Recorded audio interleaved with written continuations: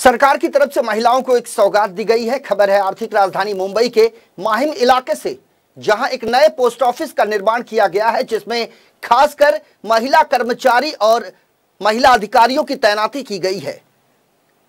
इस post office में इन दिनों काम कर रही तमाम जो स्टाफ है, वो महिलाएँ हैं और हर जगह बड़े बड़े पदों पर महिलाएँ कार्यरत हैं। इसी के मद्देनजर अब खासकर महिलाओं के लिए माहिम में इस पोस्ट ऑफ़िस को बनाया गया, जहाँ पर केवल महिलाएँ काम कर रही हैं। चपरासी से लेकर बड़ी पोस्ट तक इस डाकघर में महिलाओं के अलावा कोई पुरुष नहीं है। इस पोस्ट ऑफ़िस में हर वो काम किया जाता है जो दूसरे पोस्ट ऑफ़िस में होता है।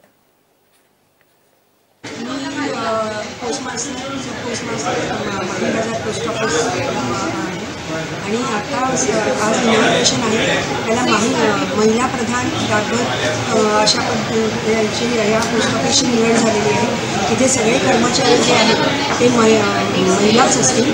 सगळं जे कामकाज आहे ते महिलांद्वारे केलं जाणार.